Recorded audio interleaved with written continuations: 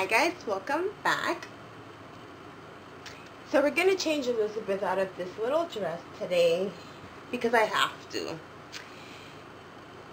Uh, my reason for saying I have to is because I'm trying to keep my mind occupied because I've it's been a really long crazy day for me and I need to wrap my head around something and try the thoughts and try to stop myself from thinking and worrying. So these babies can help in that department. So we're gonna change her into this beautiful outfit that she's never worn before. It's by Next. It's like a peachy pink color. It is so pretty. I love this name brand. So yeah, um, we're going to put her into something a little more comfy and cozy. My day hasn't ended since yesterday. My son is sick he's running a really high temperature and I didn't sleep all last night which is so crazy because it's almost like I I felt something bad was gonna happen. I don't know if you guys have ever experienced something like that before but it's happened to me more times than what I would like to admit. And um, some people in my family call me a witch because I can sometimes dream things and they come out exactly true. But um, as most of you know, I don't have much family. And the little that I do have, I treasure. Um, I have a sister. So my sister is really my cousin the reason why we call each other sisters is because when I was very young, I lived in Puerto Rico at least three times growing up. and she was raised by my grandmother. So we would live with my grandma, and of course she was there. And growing up, her and I somehow ended up always living in the same house. And then when my grandmother died, she came over to live with us in New York City and then when my mom died she had um she moved back in. And then when she graduated high school she ended up having to move back in with me. So we've always been very close. We've she's my sister and I love her. And she lives far from me. She lives in Long Island and she lives near the Hamptons. If anybody's familiar with Long Island, I know Mia is, but she lives pretty far up. And for me, it's, to get to her house, it would probably take me three hours driving. And so we don't see each other as often anymore because we live far away from each other and she's a workaholic and so is her husband and a little about her. She um, had infertility issues. And her and her husband really wanted to have a baby, and she went through it all, just like I did.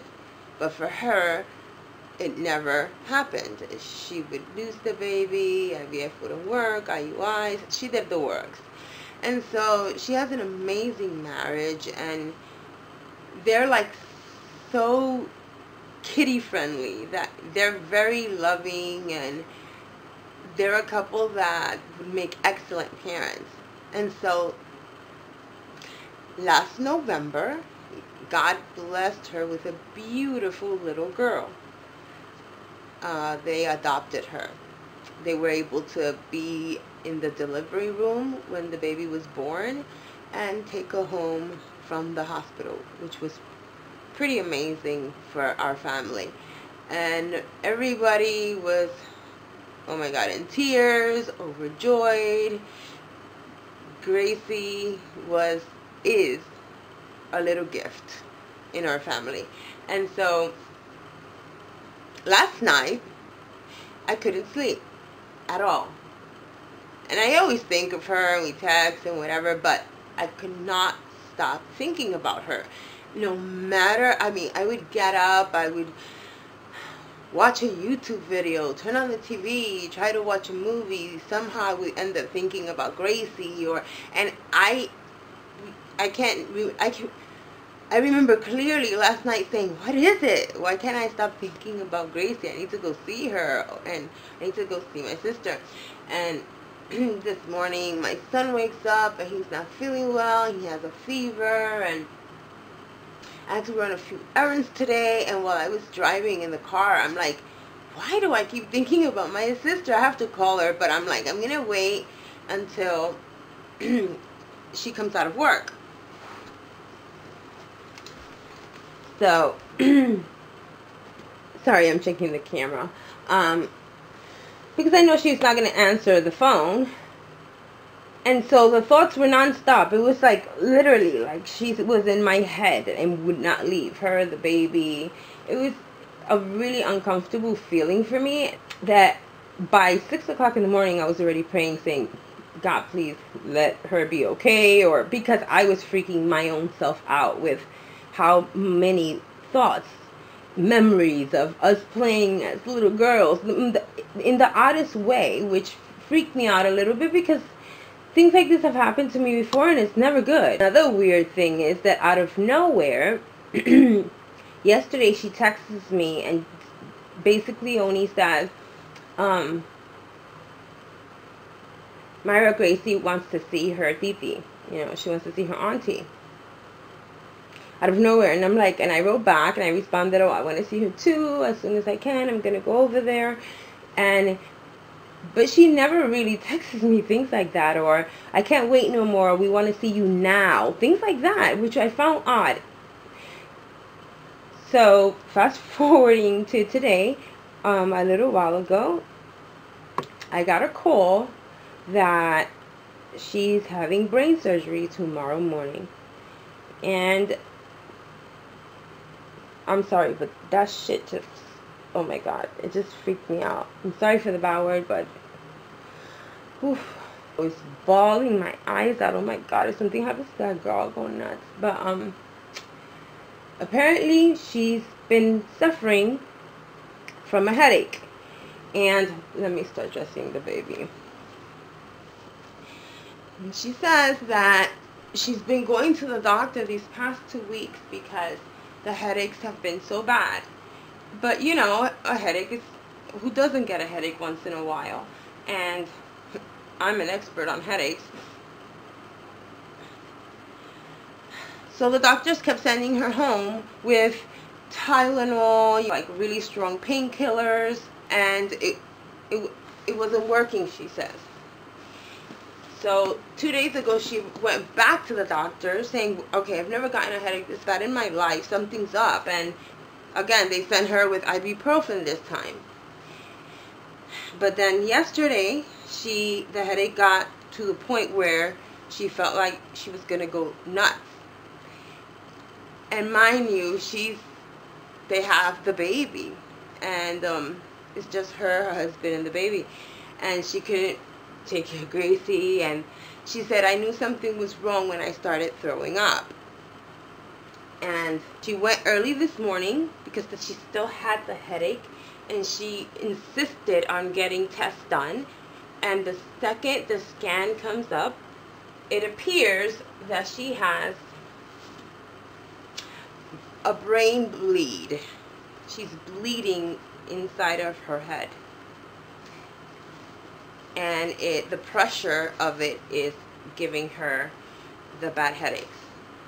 Like you hear everybody say things like that go through scares in life or that pass on like appreciate every day or treat it like it's your last. And you know you hear that but you never really you don't focus on that every single day on that thing. But it is so true. It can be a normal perfect day. And out of nowhere, things happen. And only God knows why, and I will never question God because He knows better than anyone, but I just really need her to be okay. I only have three adults in my life, which is my oldest daughter, my brother, and her. And one other cousin who I love a lot. But that's it. That's my family tree.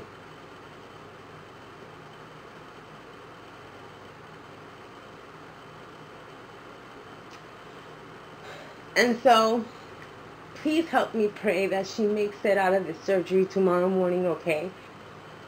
I think I've slept two hours within the last three days. Two hours. So my nervous system is all messed up as it is because of that. So for me to drive right now, it's a little bit scary, but if I have to do it, I'm going to do it. And so, back to Elizabeth.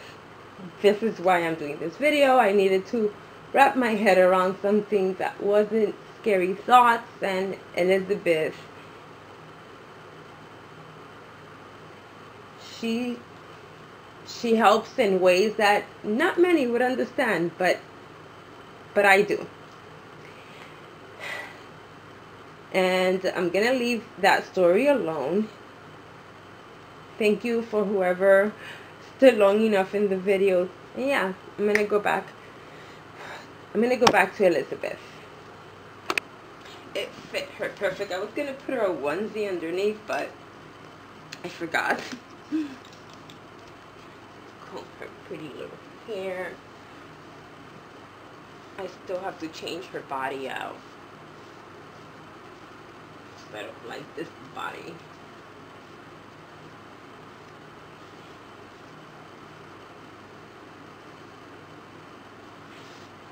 And then she has, this has like gray on it. I don't like this pink. Let me see. Maybe I can just put her the little, because it has a clip in the back, so maybe I can just her that. She does have a magnet. There she goes. Oh my gosh, que linda. She's so cute.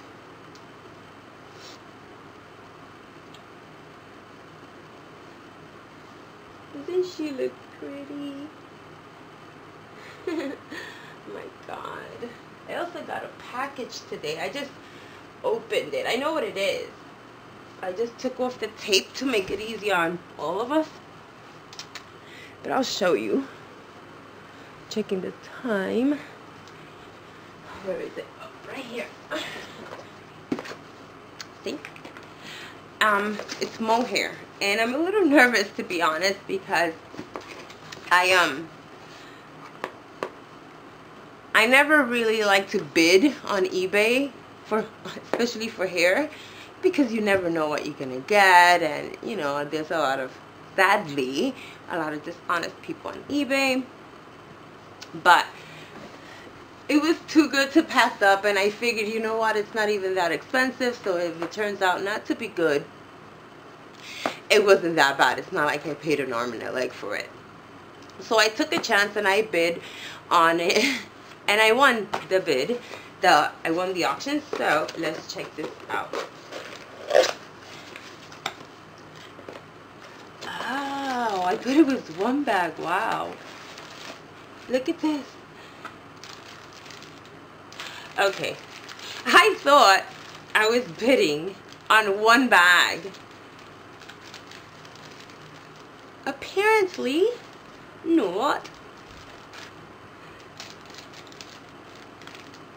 Wow, it feels, it's curly. It doesn't smell bad. Good actually. Oh wow. Let me see this. Ah! Check out these little lady locks. It's the wavy kind which I was thinking of using wavy. I always use straight hair on the babies, but I wanted to do a baby with wavy hair, like really curly. I've never done one like that before and I think this hair would be really good. It's really soft. Wow. Much softer than the other mohair that I have. So that looks promising. And it's three bags. It's like a... It's brown, like... But not dark. It's not too dark. It still has little hints of like auburn in it. And like dirty blonde. And I know the camera is not to pick up, but... But anyway, I paid, what was it? Less than $20 for these three bags. Considering how much I've paid in the past for mohair, I think that's pretty good. And that was that. Oh, I'm going to show you one other thing. Hold on.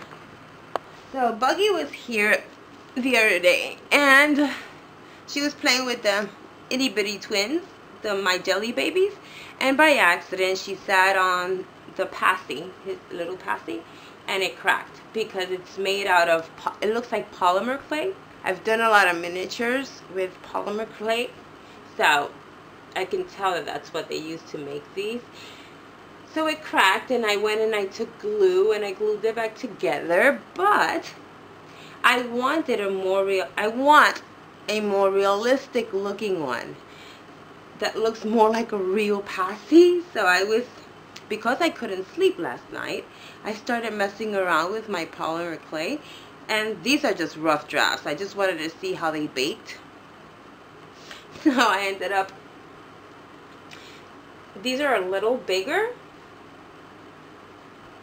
But I ended up doing these two little like rough drafts and I curved it. Instead of it being flat I made a little curve. I don't know if you guys are gonna be able to see that. But it's a test run and see what I can come up with. If I am able to accomplish this little craft I will definitely show you guys in a later video.